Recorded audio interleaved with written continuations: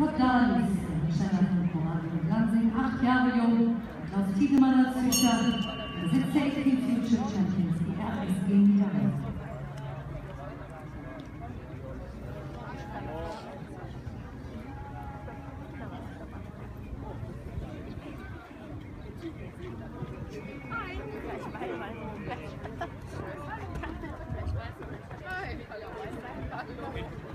Thank you.